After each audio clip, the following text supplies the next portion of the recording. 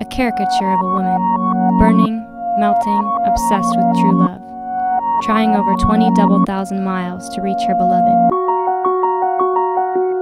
Now she is having joy, on a yacht in paradise with no more to do than adorn herself and play with toys along the blue sea.